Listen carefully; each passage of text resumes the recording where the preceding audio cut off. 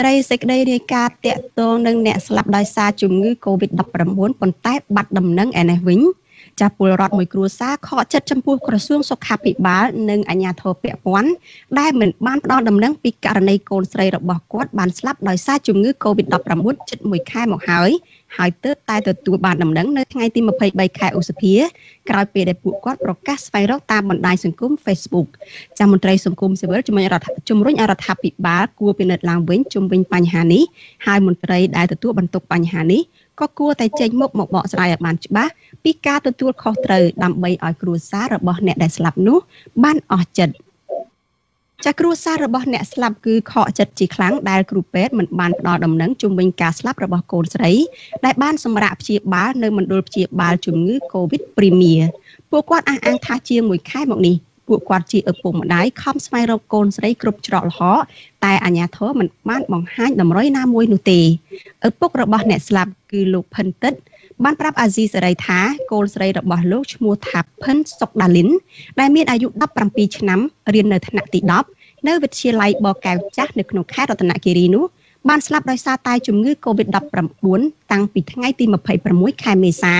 ប៉ុន្តែគ្រូពេទ្យរួមទាំងអាជ្ញាធរពាក់ព័ន្ធ មិនបានផ្ដល់ដំណឹងអ្វីដល់លោកនោះទេលោករៀបរាប់ថាដំបូងឡើយលោកបញ្ជូនកូនទៅសម្រាប់ព្យាបាលជំងឺរលាកស្រោមខួរក្បាលនិងរលាកតម្រងនោមនៅក្នុងមន្ទីរពេទ្យព្រះកេតមេលា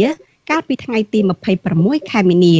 បន្ទាប់មកមន្ទីរពេទ្យបានរកឃើញអ្នកជំងឺនៅក្នុងបន្ទប់សង្គ្រោះបន្ទាន់នោះបានឆ្លងជំងឺ Covid-19 ហើយបានចម្លងជំងឺ Covid ទៅដល់កូនស្រីរបស់លោកដែរ លោកបន្តថាពេលនោះមន្ទីរពេទ្យព្រះកេតមេលា បានបញ្ជូនកូនស្រីរបស់លោកតាមឡានទៅមណ្ឌលព្យាបាលជំងឺ Covid Premier រីឯលោកក៏ត្រូវបញ្ជូនគ្រូពេទ្យបញ្ជូនឲ្យធ្វើចន្ទល័យស័កនៅឯខណ្ឌព្រែកភ្នៅកាលពីថ្ងៃទី26ខែមេសា ហើយចាប់តាំងពីពេលនោះលោកបានបាត់ដំណឹងពីកូនស្រីតែម្ដង លោកបន្តទៀតថារយៈពេលជិត1ខែមកហើយដែលលោកទន្ទឹងរង់ចាំដំណឹងនិងដើរស្វះស្វែងរកកូនស្រីពីមន្ទីរពេទ្យមួយទៅមន្ទីរពេទ្យមួយតែមិនបានទទួលដំណឹងនោះទេដោយសារតែអស់សង្ឃឹម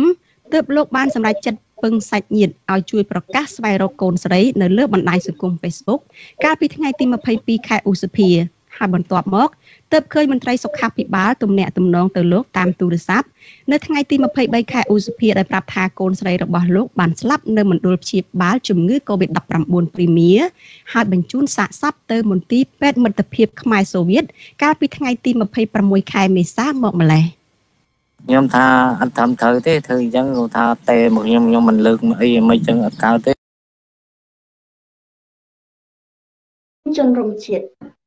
ជំរាបសួរចាស់បងប្អូនបានស្ដាប់ឮហើយហើយចំពោះបងប្អូនដែលទើបតែអញ្ជើញចូលអំបញ្ញវិញខ្ញុំសរុបអាស៊ីសេរីវិទ្យុអាស៊ីសេរីបានផ្សាយប្រាប់យើងតាមយប់ម្សិលមិញនៅករណីមួយដ៏សែនអស្ចារ្យដ៏សែនអស្ចារ្យដែលគ្រួសារមួយរូបនៅខេត្ត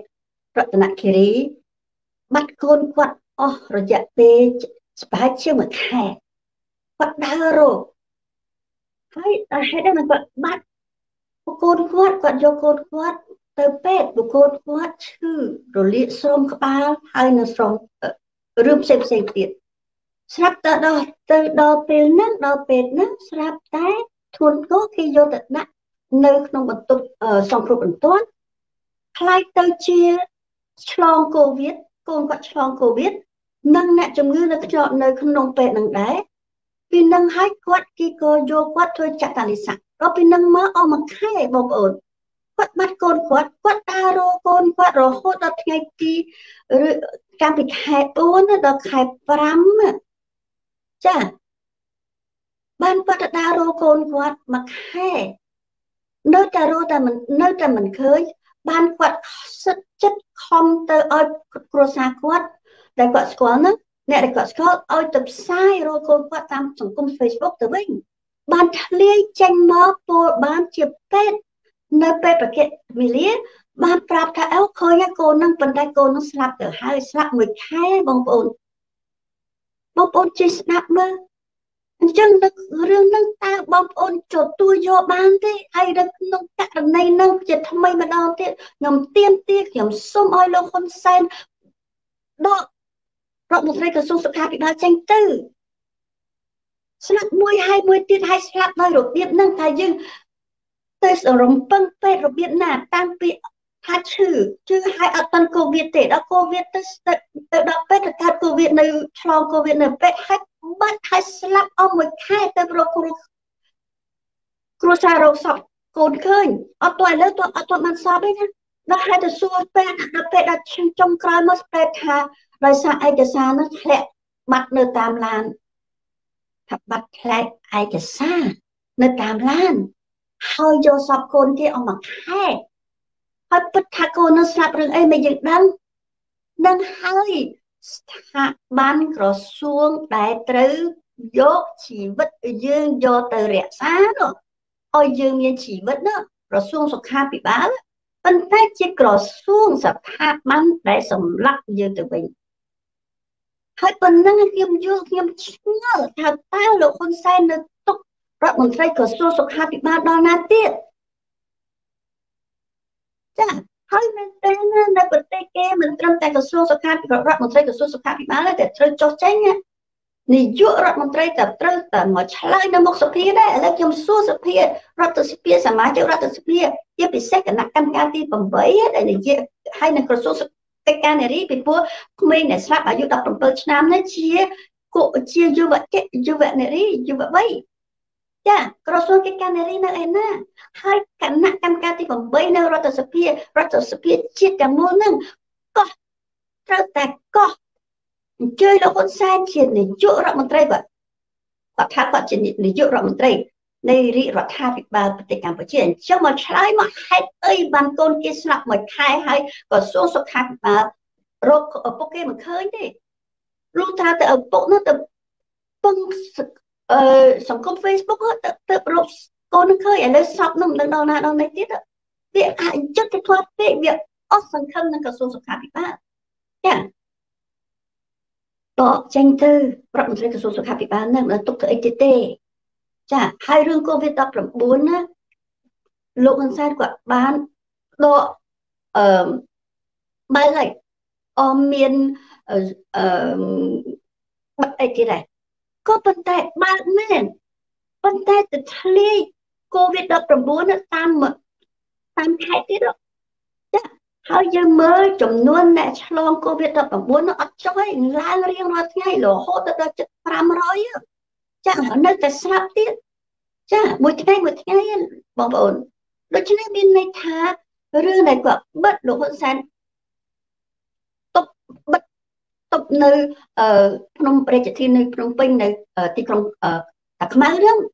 ដល់គាត់មកបើកជាមួយខែហើយឥឡូវគាត់មកបើកមកវិញហ្នឹងមិនមែនបើកដោយសារគ្រប់គ្រងកូវីដ19បានទេដោយសារគាត់បារម្ភដោយសាររដ្ឋាភិបាលលោកហ៊ុនសែនអត់មានថវិកាដើម្បីជួយអន្តរាគមន៍ចាហើយគាត់បារម្ភខ្លាចពលរដ្ឋងើបឈរព្រោះពលរដ្ឋងើបឈរឥឡូវគាត់បើកដល់បើកហើយគាត់អត់មានអី គឺជំងឺហ្នឹងមេរោគហ្នឹងវារៀតបាត់នៅគ្រប់រោងចក្រសិតតែនៅរោងចក្រទៀតដោយសារគាត់អត់យកចិត្តទុកដាក់រដ្ឋាភិបាលលោកសែនអត់យកចិត្តទុកដាក់អីតតែសោះបដោយប្រឡែងឲ្យអឺអឺពលរដ្ឋយើងជាកម្មករទៅធ្វើការនៅរោងចក្រដោយអត់មានអីការពារតតែសោះដូច្នេះយើងឃើញថាវិធានការនីមួយនីមួយរបស់លោករដ្ឋថាបាលលោកហ៊ុនសែននេះ គឺជាវិធានការដែលអត់មានយកអ្នកឯកទេសហើយអ្នកឯកទេសមានហើយជាអ្នកឯកទេសដែលអត់មានការទទួលខុសត្រូវដែលអត់មានជំនាញជាងមកទាំងអស់ហ្នឹងជីវិតរបស់ពលរដ្ឋខ្មែរនៅជាជីវិតមួយដ៏មហាសែនរងគ្រោះតែជីវិតមួយដែលអត់មានតម្លៃតតែសោះចាសូមពិចារណាទាំងអស់គ្នា ចាអរគុណចឹងដោយសារយើងមែនទែនប្រធានបទរបស់យើងនៅថ្ងៃនេះនិយាយអំពីប្រសាសន៍លើកយកប្រសាសន៍លោកហ៊ុនសែនឲ្យសូមអ្នកយើងទាំងអស់គ្នាស្ដាប់ប្រសាសន៍លោកហ៊ុនសែននៅពេលនេះចាថាកម្ពុជាពឹងផ្អែកលើចិត្តខ្លាំងពេកយើងគួរតែសួរខ្ញុំគួរតែនិយាយដោយត្រង់តំថា បើខ្ញុំមិនពឹងចិនតើឲ្យតែខ្ញុំពឹងណាណានិយាយពិតនិយាយការពិតនៅទីបើខ្ញុំមិនពឹងចិនទេតើឲ្យខ្ញុំទៅពឹងអ្នកណាទុកឲ្យប្រជាជនកម្ពុជាឆ្លងទន្លេឆ្លងព្រែកដោយជិះទូកដដោយឆ្លងស្ពានឬស័យឬឈើប្រកបដោយគ្រោះថ្នាក់ ដោយគ្មានផ្លូវដើរឬយ៉ាងណាខ្ញុំសូមជម្រាបថា កាលពីទសវត្ស90ជប៉ុនបានជួយជំនួយច្រើនកសាងហេដ្ឋារចនាសម្ព័ន្ធសម្រាប់ប្រទេសរបស់យើងនិងមានស្ពានធំធំពីរគឺស្ពានគីសូណានៅទីក្រុង នៅកំពង់ចាមនិងស្ពានទិសតាបានៅភ្ជាប់ខេត្តកដានៅខេត្ត ព្រៃវែងប៉ុន្តែក្រៅពីនោះស្ពានទាំងឡាយនៅតាមដងទន្លេមេគង្គតាមទន្លេសាបតាមទន្លេប្រសាគឺសុទ្ធតែស្ពានចិនកសាងទាំងអស់យើងខ្ញុំទៅបានចំនួនផ្លូវជាង3000គីឡូម៉ែត្រគឺចិនជួយទាំងអស់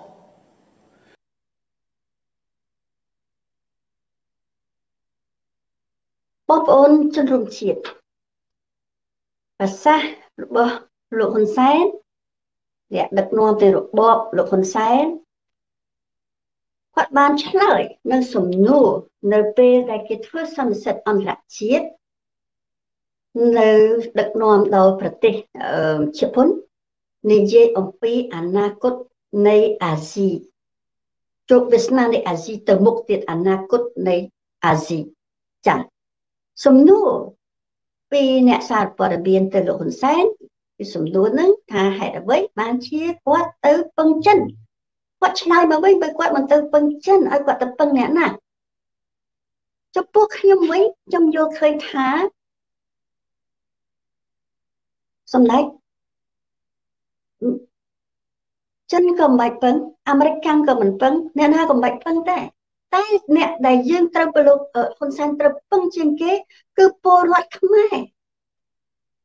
ហេតុអីពីព្រោះពលរដ្ឋនឹងឯងដែលជាកម្លាំងជាធម្មពល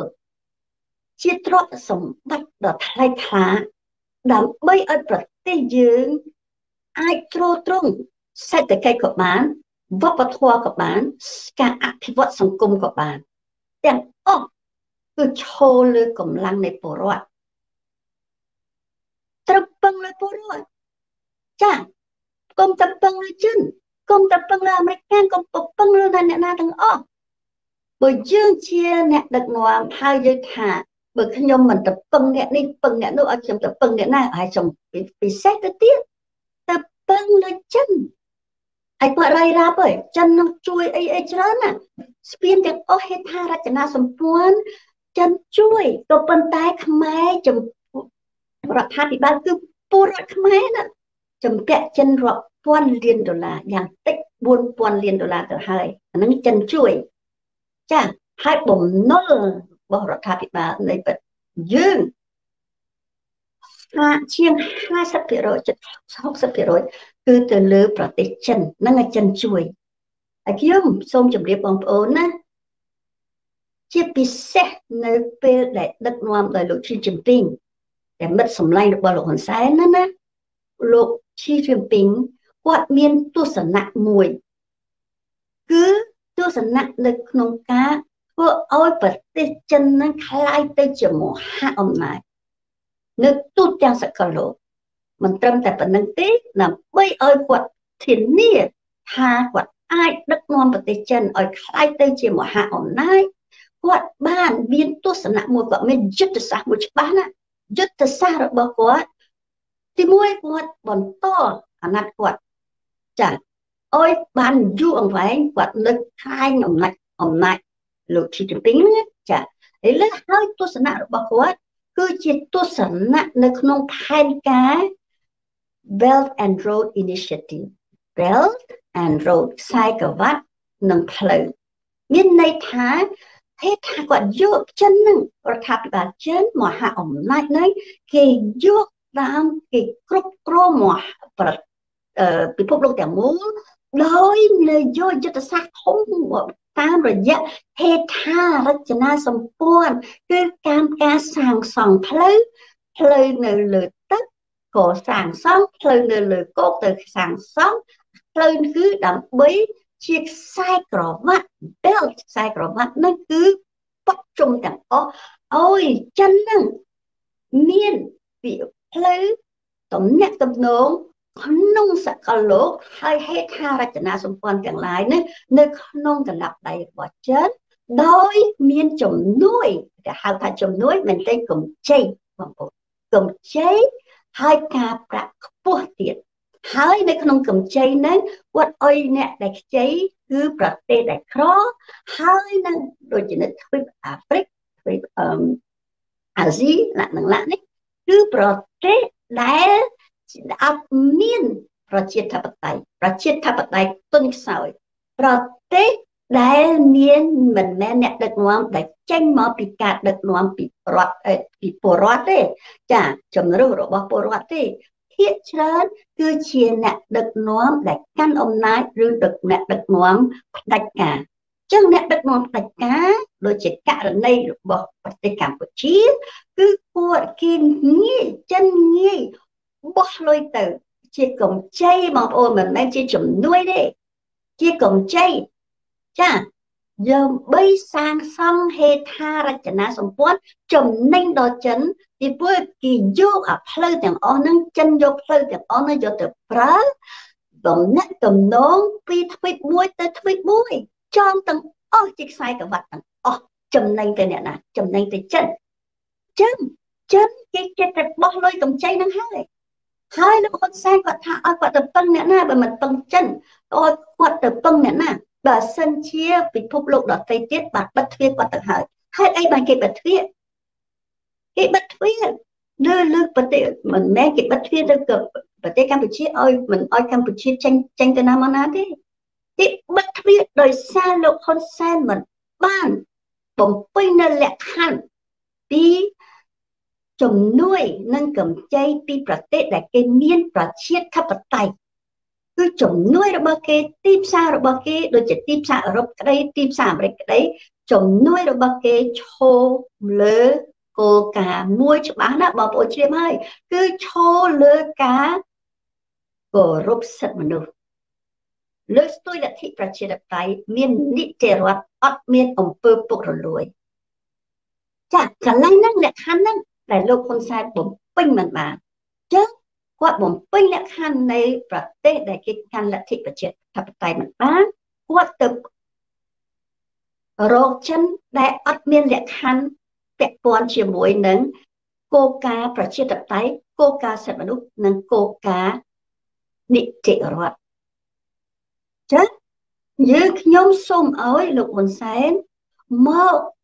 ត្រឡប់មកប្រទេសយើងវិញគឺត្រឡប់មកពលរដ្ឋយើងវិញពលរដ្ឋយើងពលរដ្ឋខ្មែរលោកអត់ចង់បានអីទេ យើងត្រូវតែ រក្សាយើងត្រូវតែកសាងអ្វីដែលជាធនពីជាមួយនឹងធនធានមនុស្សរបស់យើងដោយទី1បដលទៅដល់ពលរដ្ឋឲ្យមានសិទ្ធិមានសេរីភាពមានភាពថ្លៃថ្នូរមានកិត្តិយសរស់ជាពលរដ្ឋពលរដ្ឋដែលមានសិទ្ធិចាសិទ្ធិនៅក្នុងការបញ្ចេញមតិចា មតិនឹងជាមតិដែលផ្ដល់ជូនទៅដល់អ្នកដឹកនាំទៅដល់រដ្ឋាភិបាលទៅដល់រដ្ឋអំណាចនៅមូលដ្ឋានយកមតិពលរដ្ឋទៅយកមតិពលរដ្ឋដែលហ៊ាននិយាយការពិតដើម្បីទៅកែគុណអ្វីដែលជាការខ្វះខាតនៃអ្នកដឹកនាំទោះបីអ្នកដឹកនាំនៅមូលដ្ឋានក៏ដោយអ្នកដឹកនាំនៅថ្នាក់ជាតិក៏ដោយការពិតនឹងហើយ ចេញបានលុត្រាតែពលរដ្ឋមានសេរីភាព នៅក្នុងការបញ្ចេញមតិហើយលោកហ៊ុនសែនអាចពឹងពលរដ្ឋបានកុំទៅពឹងចិនកុំទៅពឹងអាមេរិកកាំងកុំទៅពឹងនរណាពឹងលើពលរដ្ឋយើងដែលហ៊ានបញ្ចេញមតិលុះដែលមានដែលបើសិនជាមានសិទ្ធិនិងសេរីសិទ្ធិរស់មានជីវិត កុំឲ្យកូនគេស្លាប់មួយខែហើយមិនទឹងរស់សពកូនគេមិនទាន់នឹងឃើញផងហ្នឹងកុំឲ្យស្ត្រីយើងទៅឆ្លងទលេនៅលើកៅអីកុំឲ្យស្ត្រីយើងទៅឆ្លងទលេនៅតាមដងផ្លូវកុំឲ្យកូវីដ19យកមកប៉ះពាល់ធ្ងន់ធ្ងរណាស់នៅពេលនេះចាយើងត្រូវតែលោកហ៊ុនសែនត្រូវតែមកទីពឹងលើពលរដ្ឋវិញពលរដ្ឋងាកមកនឹងងាកមករកលោកហ៊ុនសែនហើយយើង អាចកសាងប្រទេសមួយ ដែលឈរលើធនធានមនុស្សយើង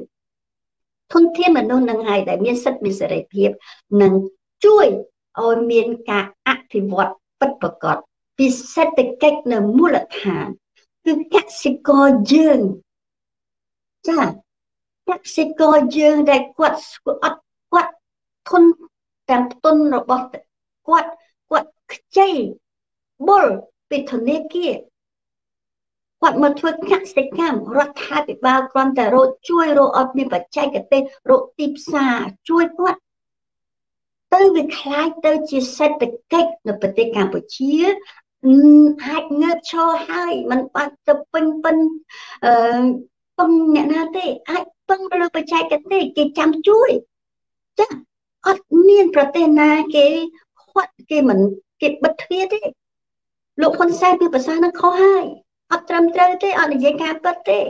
បើសិនជាលោកហ៊ុនសែនគោរពសិទ្ធិមនុស្សអត់មានប្រទេសណាគេបិទទ្វារទេគេសុំឲ្យមានការគោរពសិទ្ធិមនុស្សចាអញ្ចឹងយើងត្រូវនិយាយថាតើសេដ្ឋកិច្ចរបស់យើងហេតុអីបានជាដុំដុំអំក្បាលចុះក្រោមិនមែនដោយសារ COVID-19 ទេ នឹងបើគឺដោយសារសេដ្ឋកិច្ចនេះគឺជាមិនមែនជាសេដ្ឋកិច្ចមូលដ្ឋានដើម្បីជួយពលរដ្ឋជាកសិកររបស់យើងអ្នកជំនួញតូចតាចអ្នករស់ស៊ីក្រៅប្រព័ន្ធមិនមែនជាសេដ្ឋកិច្ចសម្រាប់អ្នកក្រជាសេដ្ឋកិច្ចសម្រាប់អ្នកមានសិតតែអុកញ៉ាសិតតែមហាសេដ្ឋីសិតតែក្រុមហ៊ុនដែលមានបាក់មានពួកហើយយកឲ្យទទួលបានលើដីធ្លីរាប់ម៉ឺនអិកតារាប់លានអិកតាជាសេដ្ឋកិច្ចមួយដែល កាត់កកាត់ជើងកាត់ក្បាលកាត់ខ្លួននៃសេដ្ឋកិច្ចមូលដ្ឋាន គឺប្រជាកសិករដូច្នេះដើម្បីទីពឹងកុំឲ្យទៅទីពឹងនរណាទៀតសូមឲ្យលោកហ៊ុនសែនងាកមកផ្ដល់នឹងទីពឹងពលរដ្ឋខ្លួនឯងវិញផ្ដល់សិទ្ធិសេរីភាពជូនទៅដល់ពលរដ្ឋលើកដំកើងសេវាទាំងឡាយសេដ្ឋកិច្ចនៅមូលដ្ឋាន នឹងទីពឹងពលរដ្ឋបានហើយបងប្អូនចាដូចទេខ្ញុំយល់ឃើញថា នៅក្នុងការដែលយើងទៅទីពឹងនរណាក៏ដោយព្រោះយើងមុនដំបូងយើងត្រូវទីពឹងខ្លួនឯងចា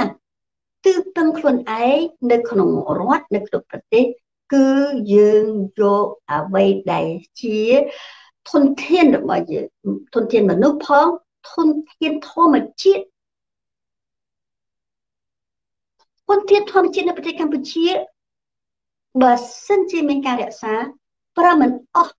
ទឹកក៏មានដីក៏មានសិទ្ធិជីជាតិព្រៃក៏មានសិទ្ធិតែព្រៃធំធំហើយប្រជាកសិករយើងអាចរស់បានលើកស្ទួយសេដ្ឋកិច្ចជាតិក៏បានដែរដូច្នេះនៅក្នុងការទីពឹងហ្នឹងមុននឹងយើងជាអ្នកដឹកនាំយើង មុននឹងនិយាយថាយើងទៅទីពឹងប្រទេសណាក៏ដោយយើងត្រូវតែទីមុនដំបូងយើងត្រូវតែទីពឹងលើខ្លួនយើងលើប្រទេសជាតិយើងសេដ្ឋកិច្ចយើងគឺទីពឹងឲ្យពលរដ្ឋយើងគាត់មានសិទ្ធិសេរីភាពគាត់មានឯកទេសគាត់មានការអប់រំគាត់មានសេវាសុខភាពគាត់មិនរស់ក្នុងភាពភ័យខ្លាចគាត់ជាពលរដ្ឋដែលមានសក្តានុពលជួយសេដ្ឋកិច្ចជាតិដែលជាគ្រឹះ នៃការអភិវឌ្ឍជាការអភិវឌ្ឍមួយដែលអាចចិញ្ចឹមមិនត្រឹមតែជីវិតគ្រួសាររបស់ពលរដ្ឋអាចចិញ្ចឹមសេដ្ឋកិច្ចនៅមណ្ឌលរបស់ខ្លួននៅក្នុងសហគមន៍របស់ខ្លួននៅក្នុងជាតិរបស់ខ្លួនរហូតទៅដល់អាចយកផលិតផលប្រទេសកម្ពុជាយកទៅប្រណាំងប្រជែងជាមួយនឹងផលិតផលនៅប្រទេសជិតខាងក ន្លែងណាដែលថាកសិករខ្មែរយើងមិនអាចដាំដុះបានពូជស្វាយរបស់យើងពូជទុរេនរបស់យើងពូជផ្សេងផ្សេងរបស់យើងតែចន្ទទីរបស់យើងស្រូវរបស់យើងថ្នោតរបស់យើងស្ករថ្នោតរបស់យើងម្រេចរបស់ប្រទេសកម្ពុជាដឹងយកទៅណាអូព្រោះយើងពីរដ្ឋាភិបាលលោកហ៊ុនសែនជាង40ឆ្នាំនេះ មកថ្ងៃនេះមកនិយាយថាឲ្យខ្ញុំទៅពឹងអ្នកណាមានតែទៅពឹងចិនចុះក្នុង40ឆ្នាំហ្នឹងហេតុអីមិនបានរៀបចំឲ្យខ្លួនឯងទីពឹងខ្លួនឯងបានគឺលើសេដ្ឋកិច្ចជាតិសេដ្ឋកិច្ចមូលដ្ឋានសេដ្ឋកិច្ចនៃពលរដ្ឋដែលលោកអាចរស់ដោយខ្លួនឯងបានមិនក៏មិនមកជួយលោកឲ្យមកឲ្យទៅខ្លាយទៅជាកសិករដែលចិញ្ចឹមសេដ្ឋកិច្ចប្រទេសជាតិបានជាង40ឆ្នាំនេះ ដូច្នេះខ្ញុំយល់ឃើញថាជាសេដ្ឋកិច្ចមូលដ្ឋានសេដ្ឋកិច្ចរបស់ជាតិយើងឬអាចចិញ្ចឹមជីវិតគ្រួសារចិញ្ចឹមជាតិយើងបានលុះត្រាតែលោកហ៊ុនសែនគាត់ដាក់ចិត្តដាក់កាយថាគាត់មិនបាច់ទៅចិនឲ្យចិនជួយទេមិនបាច់ទៅឲ្យអាមេរិកជួយទេមិនបាច់ឲ្យអឺរ៉ុបជួយទេប៉ុន្តែសូមឲ្យគាត់មករស់នៅ លំជាមួយនឹងពលរដ្ឋលំបាកជាមួយនឹងពលរដ្ឋទឹកភ្នែកការចាប់នៅពលរដ្ឋយើងប៉ុណ្ណឹងល្មមហើយហើយមិនបាច់កុហកយើងទេសូមនិយាយការពិតជាជំនួយរបស់ចិនឬមួយក៏ជាចំកំជ័យពីចិនតែយើងចំពាក់ចិនប៉ុន្មានម្យ៉ាងទៀតពលរដ្ឋដឹងហើយ ថាប្រទេសចិនមានបានផ្ដល់អីដល់ប្រទេសកម្ពុជាបើសិនជាចិនជួយមែនទែននៅពេលនេះហេតុអ្វីបានជាវ៉ាក់សាំង COVID-19 ទៅទិញពីប្រទេសចិនតើចិនតែថាជាមហាមិត្តនៃប្រទេសកម្ពុជារបស់លោកហ៊ុនសែនណាតើបានជួយជាសេដ្ឋកិច្ចនៅពេលនេះបើសិនជាចិនជួយជាពិតមែនតើណាគឺត្រូវជួយជាសេដ្ឋកិច្ច ចិនចំណេញលើពីពលរដ្ឋខ្មែរច្រើនណាស់ទីផ្សារទៅអឺរ៉ុបឥឡូវកម្មកររបស់យើងនៅតាមរោងចក្រទៅធ្វើការវិញទៀតហើយតើក្រុមហ៊ុនទាំងអស់នោះថៅកែជនជាតិអីភាគច្រើនជាជនជាតិចិនចំណេញទៀតចាហើយស្រែចម្ការហើយនឹងប្រៃឈើទាំងឡាយ ដែលលោកហ៊ុនសែនឲ្យទៅចិនកាប់ស្ទើរតែអស់នោះតែចិនគេយកទៅធ្វើអីគេទៅលក់នៅប្រទេសចិនពីព្រោះឈើនៅប្រទេសកម្ពុជាមានតម្លៃ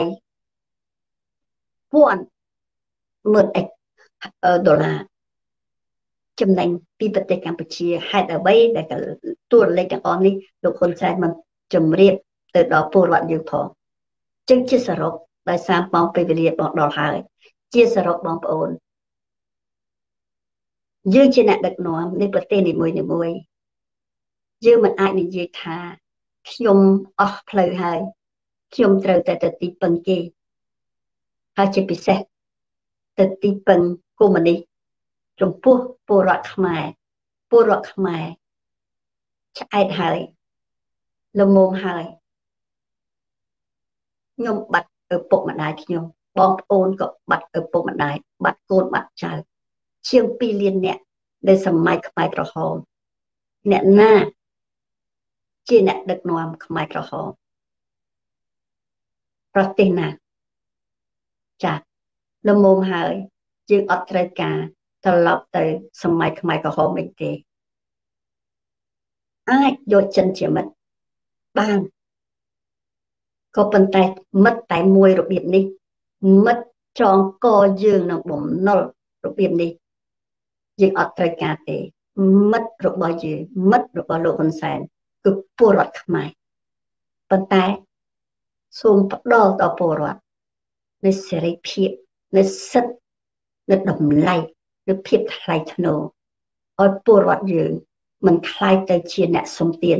តែឲ្យពលរដ្ឋយើង คล้ายទៅជាម្ចាស់ទឹកម្ចាស់ដីជាអ្នកគ្រប់គ្រងសេដ្ឋកិច្ចគ្រប់គ្រងសង្គមគ្រប់គ្រងវប្បធម៌គ្រប់គ្រងគ្រួសាររបស់ខ្លួនដោយមានសេរីភាពដោយមានភាពថ្លៃថ្នូរជាពិសេសកុំឲ្យស្ត្រីយើង ស្លាប់នៅពេលឆ្លងទន្លេថ្មីថ្មីនេះ ស្លាប់មួយទៀតហើយគួកូននៅក្នុងពោះស្លាប់ដោយ ខ្លោចផ្សាណាខ្លោចផ្សាណាបញ្ចប់ទៅនៃការឈឺចាប់ទៅភាពវេទនានៃពលរដ្ឋសូមឲ្យលោកហ៊ុនសែនអាណិតអាសូរដល់ពលរដ្ឋខ្លួនផងហើយយកពលរដ្ឋជាមិត្តកុំលៀបពណ៌ពលរដ្ឋថានេះជាសត្រូវនេះគឺជាខ្មាំងនេះត្រូវកញ្ចាប់កំតិចអ្នកនេះកំតិចអ្នកនោះអន់ចប់ទៅយកពលរដ្ឋយកយើងខ្ញុំ ជាខ្មែរដូចគ្នាមករួមគ្នា ជាកម្លាំងតែមួយ ការពាររក្សាប្រទេសជាតិយើងឧត្តមកតិកិត្តិយសតម្លៃពលរដ្ឋយើង ជាពលរដ្ឋដែលមានសក្តានុពលចាសសូមអរគុណជម្រាបលា